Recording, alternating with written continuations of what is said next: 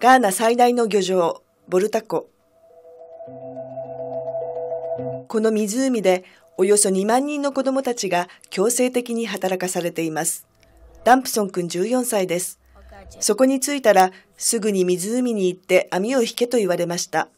できないと答えました。そしたら殴られました。船を漕ぐオールで口を。ダンプソン君は10歳の時、家族から引き離され、4年間漁師として働かされました。男の人が来て、人を探してると言ってました。飲み水を売りに行くために。お母さんがその男の人と一緒に行くべきだって言ったんです。その人たちと水に潜らなきゃいけないって言われました。もしやらなかったら殴られるって。だから潜らなきゃいけなかった。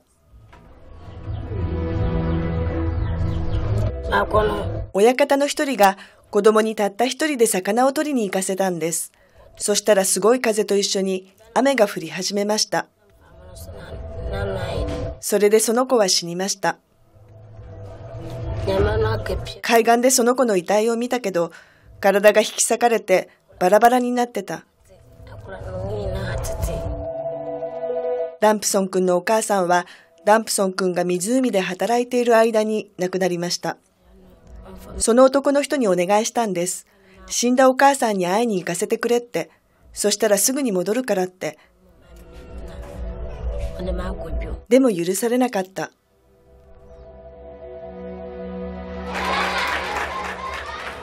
ダンプソン君はついに慈善団体に救出されました。今はお父さんと一緒に暮らして学校にも戻っています。